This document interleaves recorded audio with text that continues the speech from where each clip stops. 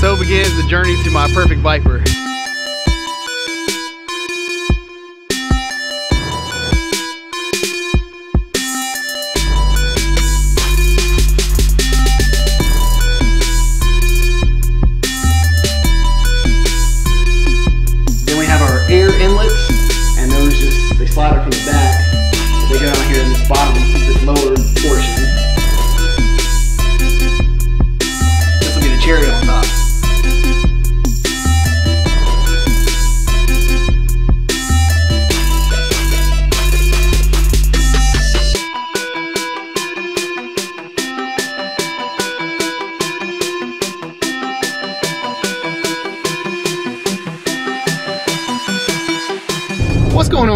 Back to the chaos.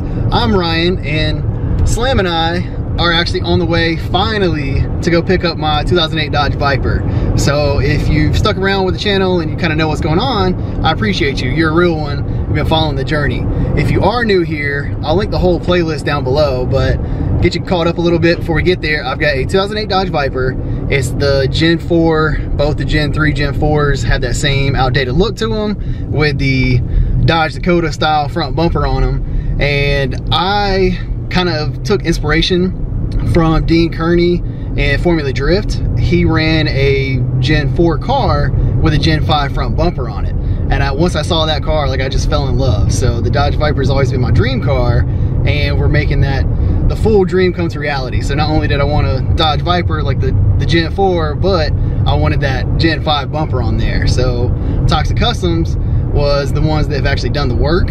So it's been eight months since I've seen the car. So they've definitely took taken their sweet time, but today is finally today to go pick it up. So I've got like that nervous excitement. I'm just ready to get the car back, but we're on the way now. So I actually had to go drop off some parts yesterday to get it finalized. So I'm gonna throw it back while we're driving along, throw it back and give you like a little teaser and show you the painted bumper because I haven't seen final assembly. So I've all, all I've seen at this point is the, the bumper painted and then our inner structure, our bash bar painted as well. So as we're driving along, check out that footage and then we'll update you when we actually get to Toxic Customs.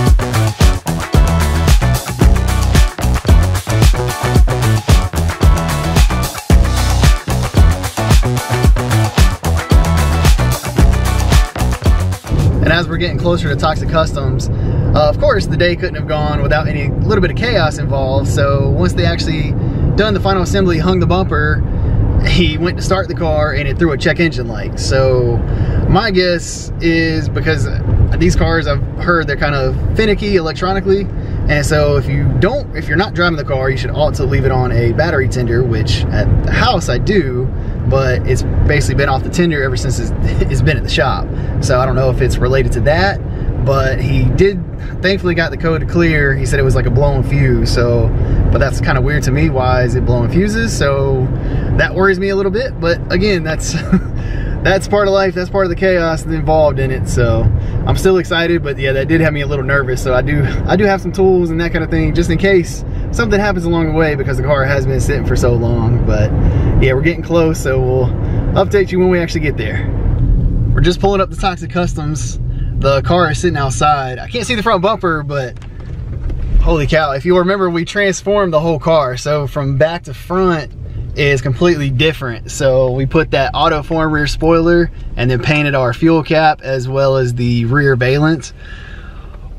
Blown away, so excited. So sorry, gonna interrupt this to go check out my car.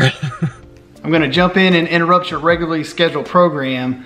I am going to reveal the car, but before I do so, I wanna throw a disclaimer out there that yes, obviously, the car is home, it's back in the chaos garage now, but when I went to pick it up, uh, obviously initial first glance, first take, beautiful. Like the whole, the vision is there, they nailed it. So I'm super excited about the way that things have turned out on the car, but there are a few imperfections and flaws that they need to work through. So I kind of had this internal debate with myself because I just didn't know, when I put the footage out there for you all to see the car, I wanted the car to be 100% perfect.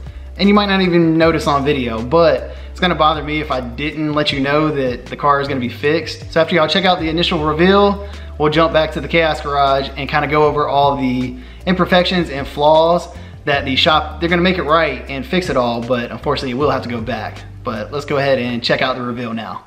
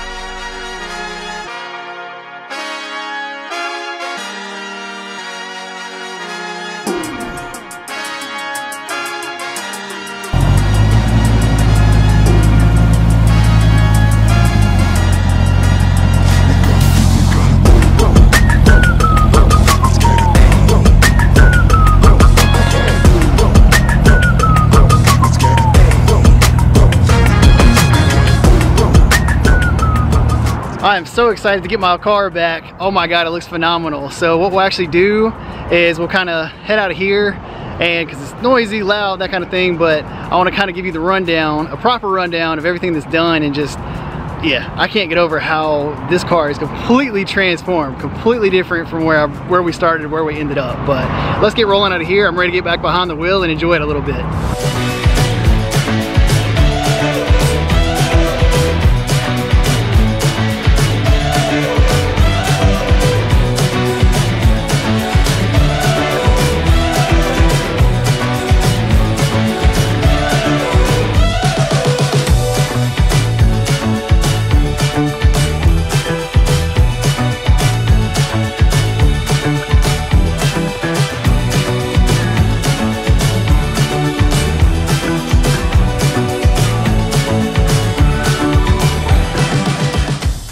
Let's talk positives because I don't want this to be a whole doom and gloom reveal video because that's it's far from that. Like I'm so pumped to see my vision come to reality. So it all started out with one, the dream car, the Viper itself. Always loved the Gen 4s, but then once I saw Dean Kearney's Gen 4 with the Gen 5 bumper on it, I was sold. I knew at one point, one, I have to obtain the car, but then when I do, I have to have that bumper on the car. And Toxic Customs brought that dream to reality. So they blew it out of the water. I mean, like the entire look of the car has completely transformed from the front bumper, Gen 5 front bumper on our Gen 4, to the Autoform rear spoiler, and then to top it off with the black badging on the sides. Then we got the lower rear valance is black as well as the fuel cap. So just the completely different car from where we dropped it off from. That I'm in love with. So in person, looking at the car, just kind of walking around, that kind of thing, we'll call it like a two, three footer. So two or three feet, it looks amazing.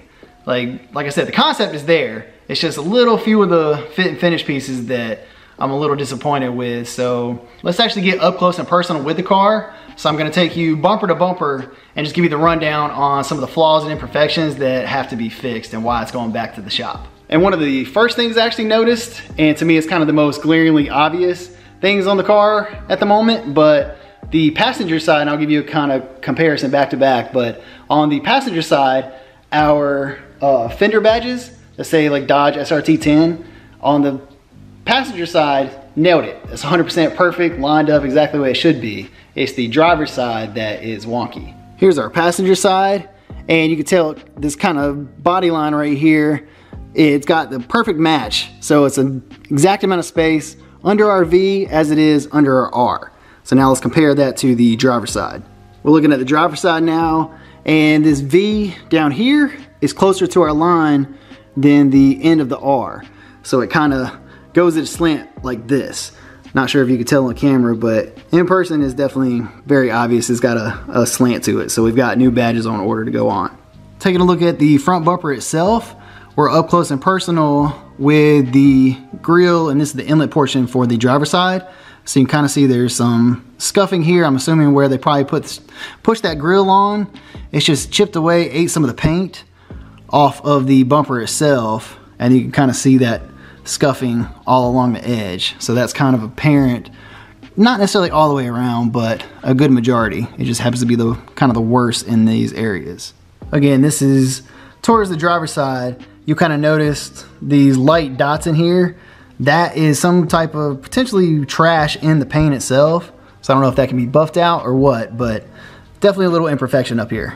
Here we are just below the driver's side headlight. Ignore the bug splatter, that's no big deal. But the dot here, that is some kind of bubble under the paint itself. So you can, can't necessarily feel it, but there's definitely something there. This one you could probably chalk up to me being a little bit picky, but when you look into this little opening in the bumper on both, we're looking at the driver's side right now, but it's apparent on the passenger side as well. But that clip down there where the inner fender liner attaches to, that clip is driving me crazy because it's silver. So in here in the garage, it's kind of hard to see without shining a light in there. But when you're outside in the sunlight, it's very obvious to see. You'll see those silver clips just kind of standing out. So I would like those to be black. But again, that's a little bit nitpicky on my part. And again, just like our driver side and this crease right here, there seems to be some trash that got picked up in the paint. So those little white specks aren't flakes of metallic, it's trash. Moving to the rear of the car, I probably don't really have to even point out. You can probably tell it from here, but we got a little nick right up here in our autoform spoiler. So even from farther away, like it kind of sucks because it is black. That little white dot, you can stands out like a sore thumb. On the passenger side, at the very tip edge, along the edge line of our spoiler, looks like it's got little scuff scrapes in it.